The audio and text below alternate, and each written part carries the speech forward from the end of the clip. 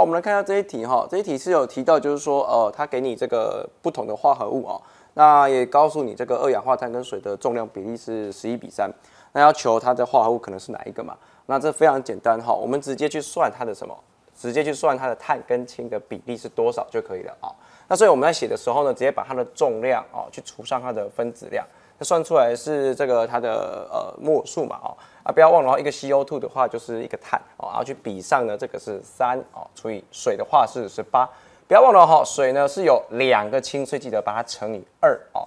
那这个算出来了以后哈，应该是这个三比四哦，三比四，OK，好，所以答案呢就直接选什么？就直接选择了丁哦，所以答案选猪，OK，好，OK，好，哎，好。再来哈，我们来看一下第十一题哈。他说，在这个周期表第二周期里面呢，有四个跟六个价电子的元素，叫做 X 跟 Y 啦哈。那可以看得出来呢，这个四个跟六个哈，那一定是什么？哎呀，这是碳嘛，这是氧嘛，对不？OK 哈，好。然后呢，A 选项 Y 的价电子的这个电子数哈大于 X 哈，但是因为这个 Y 的部分的话是氧嘛，它是同周期的右边哦，所以这个应该是小于 OK 啊。好，再来 B 哦，他说这个 X 十二啦，Y 十六，中指数、子指数的比值都是一啦哈，因为这个哈，它的呃子指数的话是六啦，中指数也是六啊，这边是八八，所以的确都是一哦，所以这个 B 选项呢是哎要选的啊。再来 C 选项哈，他说他们是同分异构物，但是注意他们连分子式都不一样，怎么会是同分异构物呢？不选它哦。再来猪，由路易斯结构式知道哦，X Y two，X Y two 是什么？对。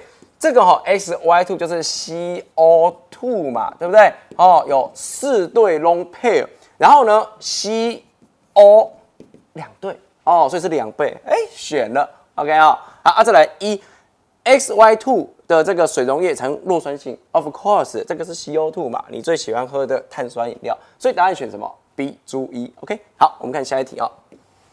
好，呃，这个。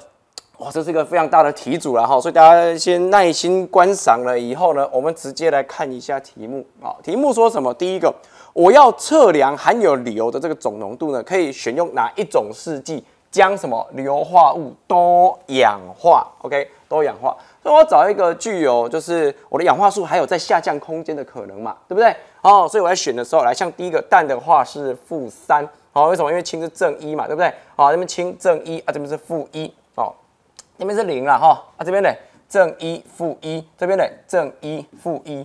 各位，我们仔细在看的时候呢，只会选什么？只会选 B 了。为什么？氧的话，氧是可以从这个负二到正二之间都有可能，还是可以再下降，有还原的这个可能了哈。所以答案就选什么？就选 B 型号。好，我们看一下下一题。好，下一题这边呢，嗯，他说哪一个这个现象哈是可能合理的叙述了哈？好，首先第一个哈，理论上。这个纯度一百帕的这个黄铁矿的这个样品哈，它们的这个比值应该是二了哈。好，这个这个是很合理的啦哈，因为它是这个 F E S two 嘛，对不对？好，所以比值的话应该是二，这个是要选的哦哈。好，再来 B，他说酸性溶液中会随着氧气的分压哈，这个溶解度减少哦，不对，这个应该看起来应该是增加才对了哈，所以不是减少哈。好，再来 C。他说：“哈，这个实验的这个黄铁矿可能含有这个氧化铁哦，所以量测的值呢小于二哦，你就这样子想嘛，哈，你现在你的铁呢，哦，你不是只有来自于这个矿物你的目标而已，还有一些杂七杂八嘛，对不对？啊，这个值如果比较大啊，当然分母大就会比较小嘛，哦，所以这个 C 选项选了，好，好，再来 D 选项纯氮气，我跟你讲啊，纯氮气这个选项就不用看了啦，为什么？啊，它是怎么氧化？”对不对？它是把这些硫化物把它氧化成 SO4 嘛，对不对？所以这个我们就不看它了哦，这个就不理它。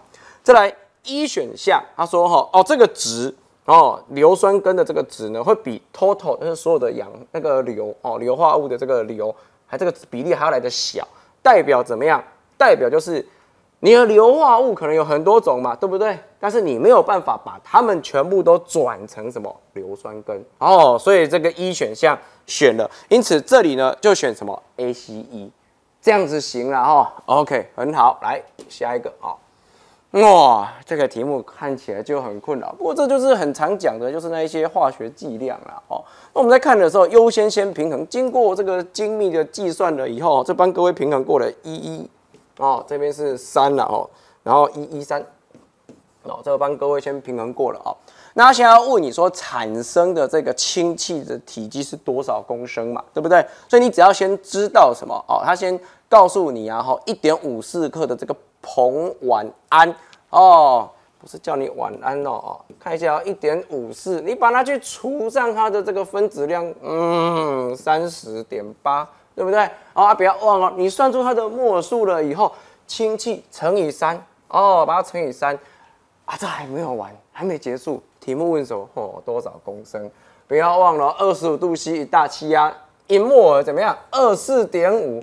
我跟各位讲，这个非常的困扰，相信你今天考试的时候也会觉得，哦，身高有没有透回去，对吧？哦，这个经过这样算一算以后，大概是这个哈，大概是三点六七五啦，哦，所以你选什么？选 C 比较合适，OK 了哈。好，好，好，啊，再我们来看这个哈，李小人哦，李小人哦，很像我一个朋友的老师的名字了哈。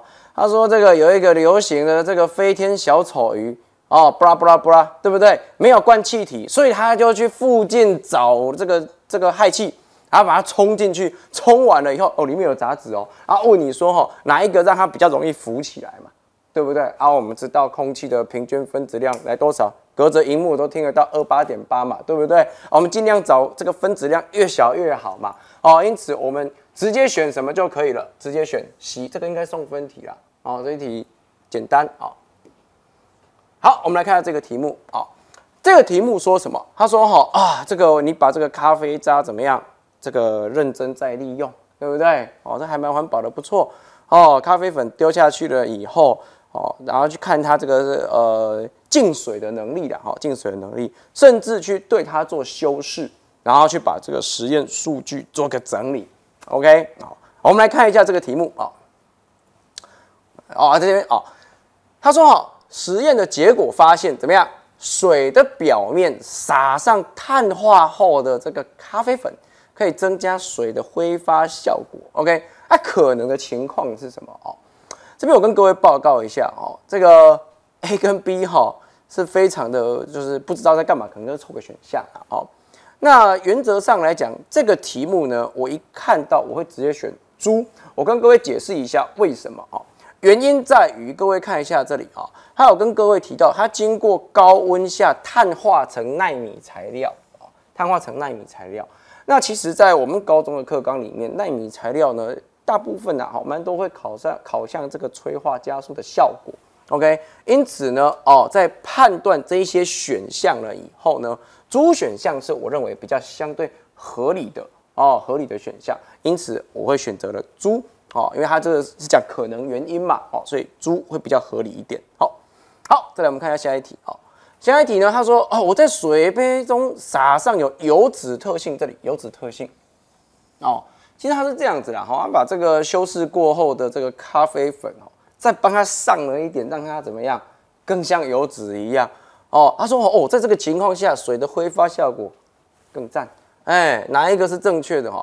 那首先我们来看一下哈，第一个有这个油脂特性哈，有这个疏水性质嘛，对不对？哦，这个蛮合理的，所以它就不会发生沉淀。OK，好，那再来，好，这个这个 A 选项这个是没有问题啦，哦，这是没有什么问题。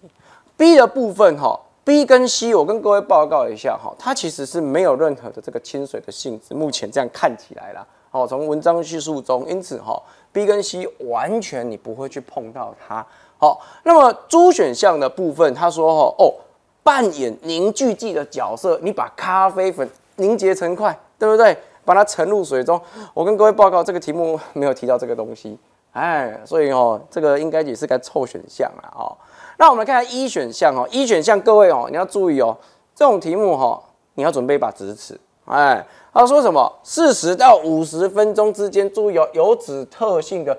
细碗碳化咖啡粉哦，所以是这个地方了哈，这个对过来啊，对过来，对过来啊，对过来啊，大概是这样子啦。OK 哈，所以呢，一选项哈，你用这个零点呃零点八减零点六，啊，去除上这个十，OK 哈，那这个大部分算呃更正了哈，这个算出来了哈，大概是这个零点零二左右，这个是没有问题的。所以答案选什么？答案就选择 A 一，OK？好。哦，这一题啊，这一题也是一个非常常考的题型，对不对？就是判断这个不同种类的化合物呗。好，那我们来看一下哈，那说有甲、乙、丙、丁四种纯物质啊，哦，那它给你这些性质，对不对？那我们来看哪一些正确哦。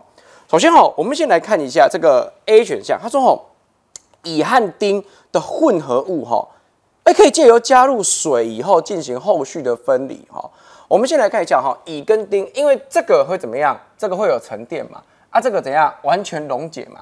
所以我加入水就可以怎么样进行分离？好，所以这个 A 选项是怎么样？是没有问题的啊。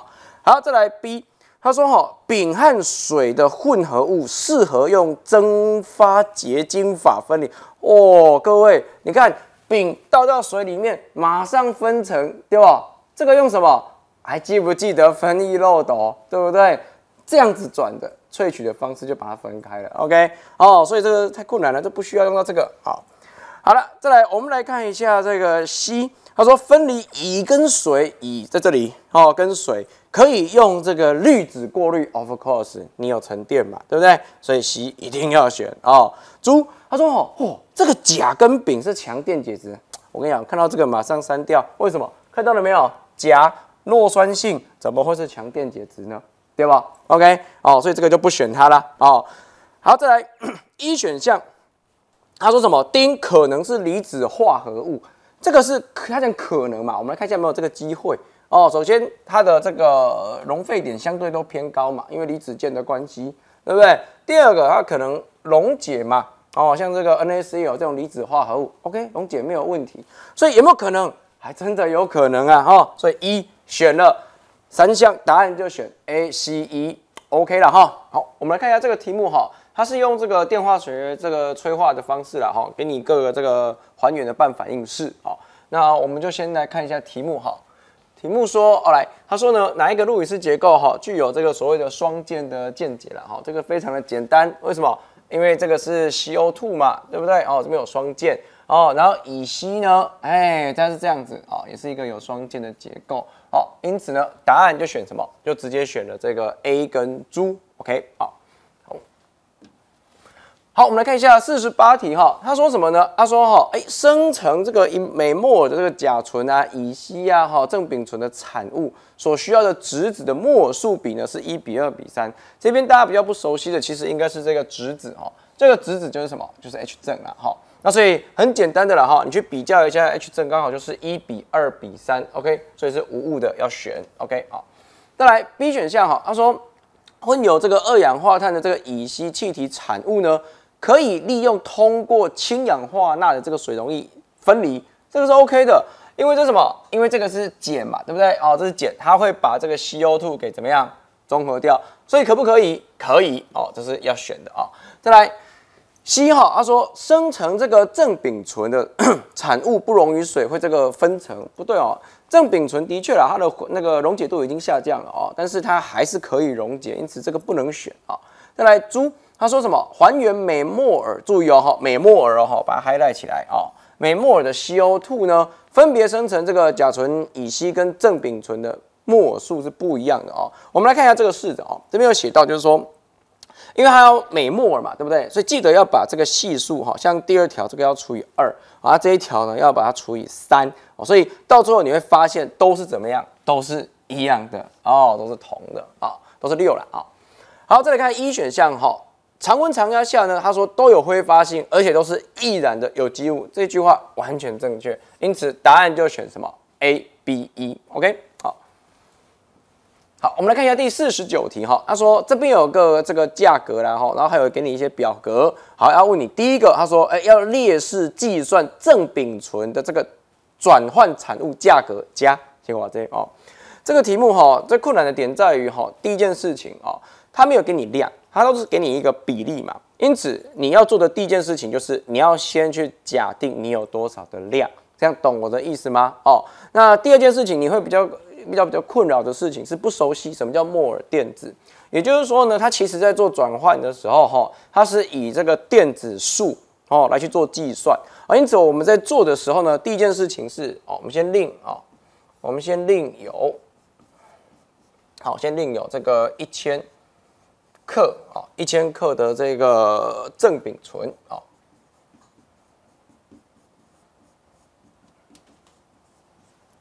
好那一千克的这个正丙醇的话呢，你在做计算的时候非常简单。首先呢，你先把这个一千哦，先把它除上这个六十，OK，哦，除上六十就知道它的摩尔数了嘛，对不对？哦，实际的摩尔数。那因为我们也知道哈，前面的这个告诉我们说，它一摩尔呢会需要呃生成的话会消耗掉哈十八哦，十八摩尔哦，十八摩尔的这个电子嘛，哦，转移十八摩尔电子，那你就知道电子的数量有这么多。啊，题目要问说，哦，它的那个价格是多少？我不知道，对不对？哦，我就令它叫做 x 啊，算出来，他说叫做多少？四十五嘛。OK，哦，四十五，哦，好啊，所以哈，这个 x 哦，我写在上面了哈，所以这个 x 哈算出来叫做零点一五，哦，就这样子。OK，好，这个是 A，好，再来 B，他说哦，另外一个系统哦，另外一个系统。产生甲醇跟那个正丙醇，好，那有一摩尔这个混合物消耗十点八摩尔的电子，这怎么办哦？这也蛮简单的啦，哦，首先哈，你就令甲醇这叫 x 摩尔嘛，对不对？正丙醇呢 y 摩尔，看哈，一个 x 一个是 y，好，所以第一个列出来 x 加上 y 等于多少？等于一，OK？那那个电子数的部分的话，哈，是多少呢？哦，是六 x。加上十八 y，你如果你如果忘记的话，再自己去翻了哦。啊，等于多少？十点八哦，十点八。OK 啊，好，那这两条去做比较的话哦，你的 x y 比上 y 哦，会等于三比上二。OK，好，他问你末数比是多少嘛？好，好，所以这个是这一题四十九题好。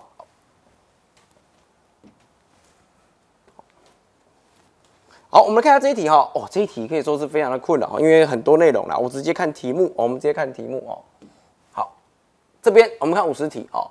五十题他说你说哪一些是正确的哦？哪一些是正确的？A 选项他说这个三氧化二铁是亚铁离子经还原反应形成的，这个铁是三正。好，那这个亚铁的话，我们知道是正二嘛，对不对？好，所以你在看的时候应该是什么？应该是氧化。哦，我 A 就不选了，A 就不选了。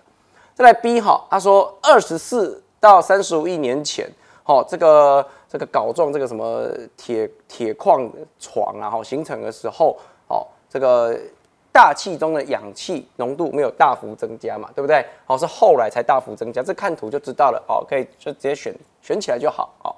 再来看 C，他说哦，这两个都不易溶于水，对啊，这就是铁锈嘛，哦，铁锈的一种，哦，所以这个的确是对的，哦。好，再来猪。他说这个是属于分子化合物哦，我们掉我们掉，这个是金属非金属，怎么会是这个分子化合物呢？哦，这就错了哦。再来一选项，他说十九亿年前形成的时候，推测铁二正的浓度大幅上升，所以才有这些矿的出现嘛。哦，所以这个一哦是要选的，因此答案选什么？B C E O K。OK，好，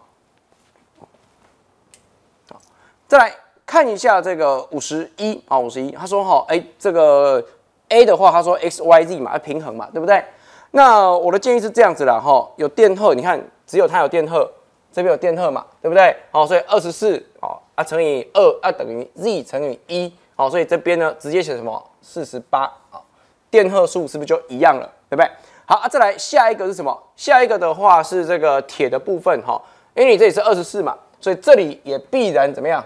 二十四，OK 吗？哦，那最终呢？你你自己去找一个，好像是氢的话，哈，氢，我看氢哦，氢的话就是二 x，哦，就会等于什么？来，注意哦，六二，哦，六乘以二，哦，加上，哦，加上这边是三嘛，对不对？好，三乘上，哦，二十四，哦，啊，去加上四十八，好，OK，行了哈，啊，所以你这个氢哈，经过这个精密的计算，哦，算作 x 六十六了。